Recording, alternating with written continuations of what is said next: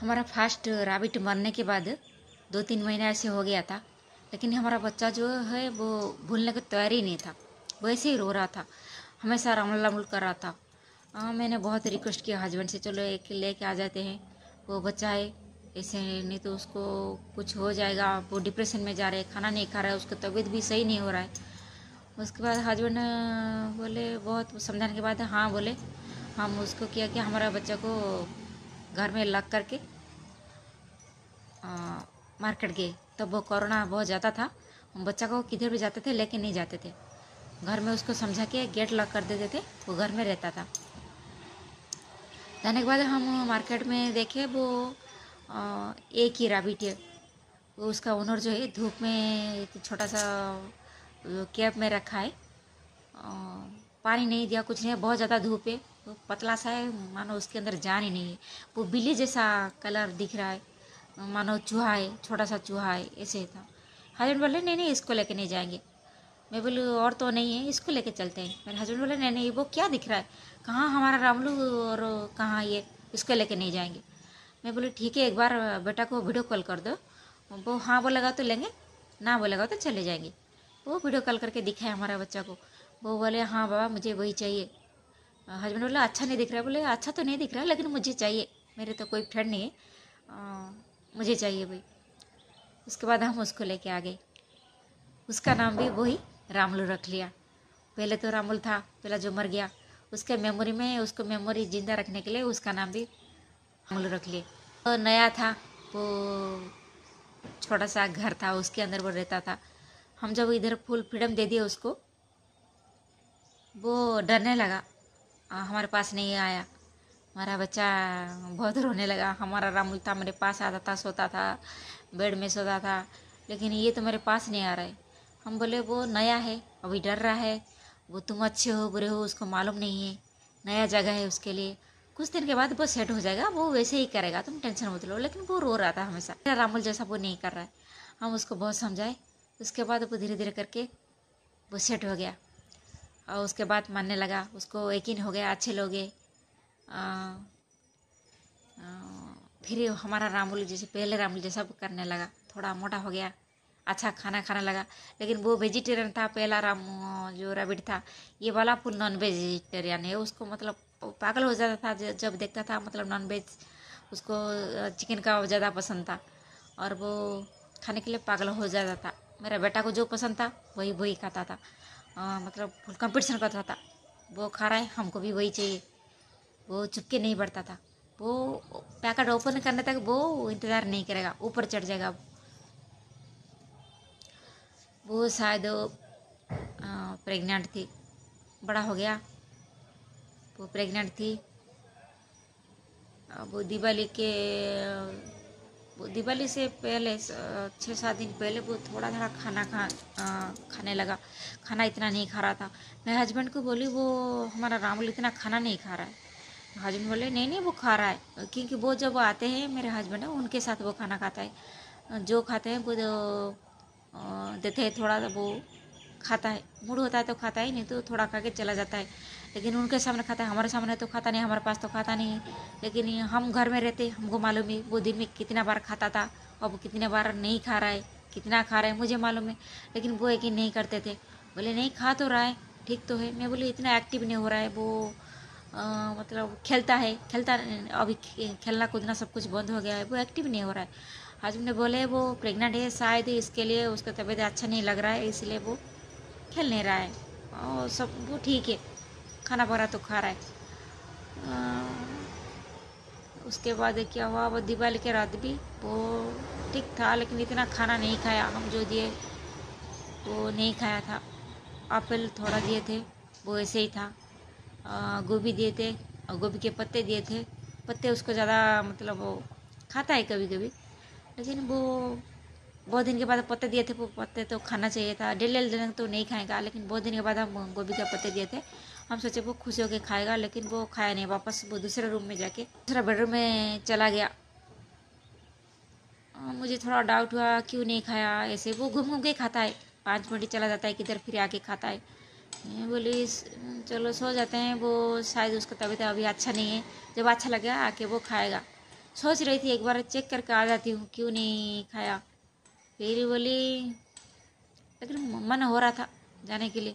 पता नहीं क्या चलो ठीक है, वो तो खाता नहीं है, जब मूड होता है तब खाता है, मैं सो जाती हूँ। मैं बेडरूम में आ गई। वो खाना नहीं खाया था।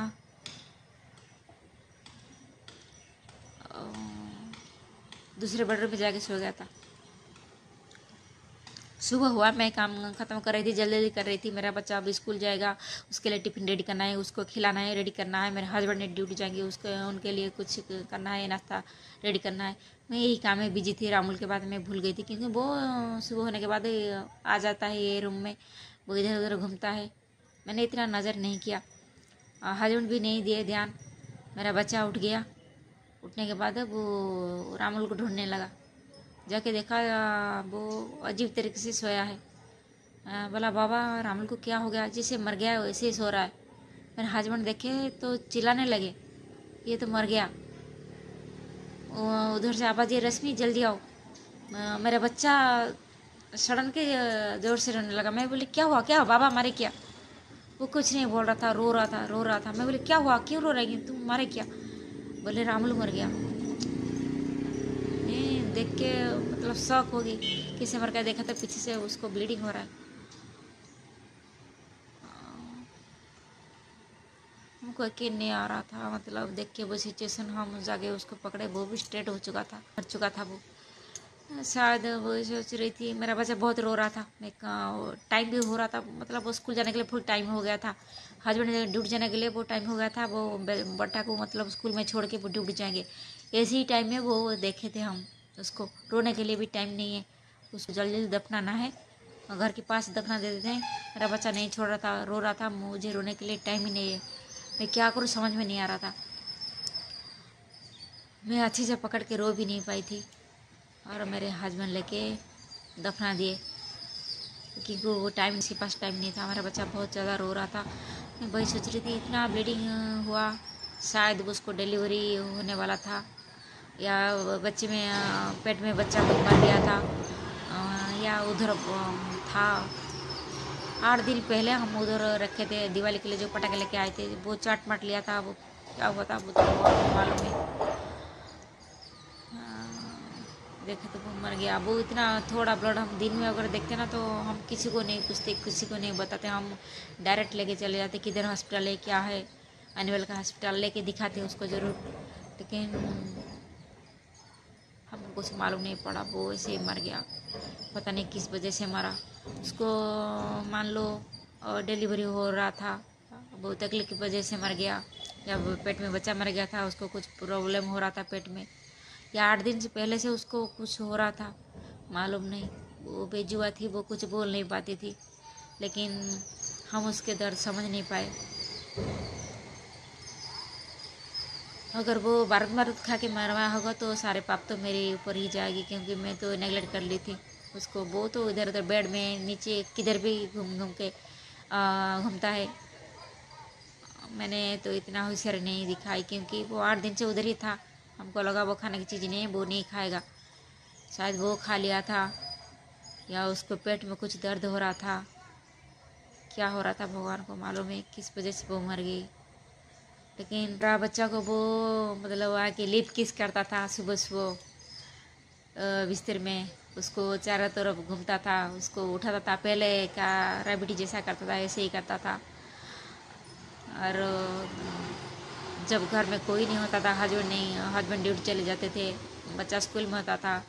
मान लो कभी मेरा मूड अपसेट होता था, मैं डोर बंद करके ऐसे रोती थी।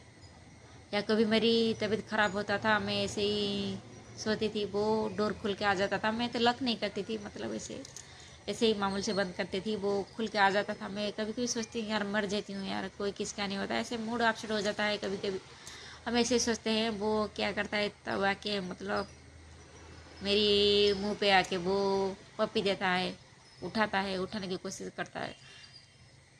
सब कुछ वो समझ रहा था। हम कुछ उसको बोले नहीं थे कभी, हमको ये है तकलीफ़ है। लेकिन वो समझ रहा था सब कुछ। और वो दिखाने की कोशिश कर रहा था, जताने की कोशिश कर रहा था, हम तुम्हारे साथ है। तुम रो मत, तुम कुछ करो मत। तुम्हारा कुछ होगा तो हमारा फिर क्या होगा? शायद ऐसा ही कुछ था।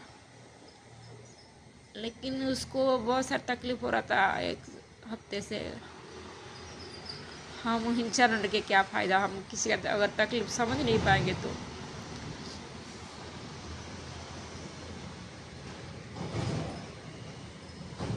और वो फाइनल मर गई। बहुत मिस करते हम। हमको भी खाने पीने को नहीं हो रहा। है बहुत याद आता है। जिधर भी देखे, वो याद आता है। वो दिख रहा है हमको। कभी लगता है हमारे पैर में आके वो ऐसे ऐसे कर रहा है। कभी लग रहा है कि हमारे पीठ के ऊपर चढ़ गया है।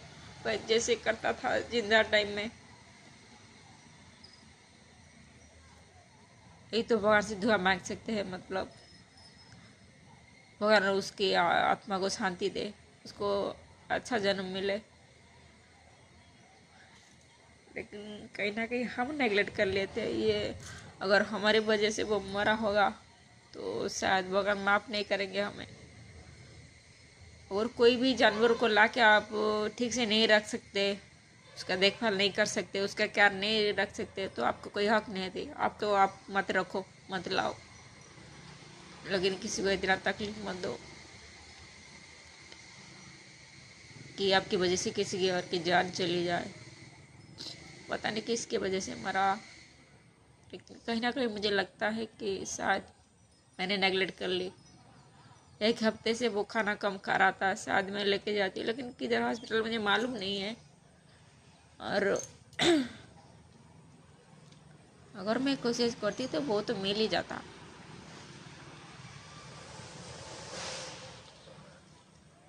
लेकिन अब अगर ठीक से नहीं रख सकते ना तो मत लाओ।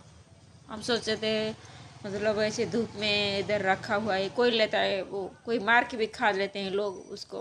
हम सोच रहे थे, हम बड़ा काम कर रहे हैं, लागे पास में रख रहे प्यार दे रहे खिला रहे अच्छे से रख रहे शायद बहुत बड़े पुण्य का काम कर रहे लेकिन एंडिंग टाइम में तो हम ठीक से नहीं किया, कुछ नहीं देखा, मर गए वो। पता नहीं वो शायद मेरा बेटा को ढूंढ रहा था वो, कब भाई आएगा तो देखेगा। क्योंकि मेरे बच्चा को सब कुछ मालूम पड़ जाता है, उसको कुछ तकलीफ़ है, क्या है? वो पहले से बोल रहा था, मम्मी, उसको दिखाएँगे क्या? वो प्रेग्नेंट है हॉस्पिटल में दिखाते हैं। मैं बोली, नहीं, जानवर तो ऐसे ही बच्चा पैदा करते हैं। उनको कौन लेके जाता है हॉस्पिटल जंगल में तो बच्चा पैदा करते हैं। वो, लेकिन वो शायद उसके भाई को ढूंढ रहा था, तभी तो मेरा बेटा पहले जाके देखा। उसके लिए वो ज़िंदा था, उसकी खुशी के लिए हम लेके आए थे उसको घर में। लेकिन उसकी खुशी के लिए हम उसको ज़िंदा नहीं रख पाए, उसका क्या नहीं ले पाए? अगर आप लाते हैं ना, कोई भी एनिमल हो, कोई बाढ़ हो, कुछ भी हो, आप अगर ठीक से ध्यान नहीं रख सकते ना, तब मत लाओ। रखते बाय बाय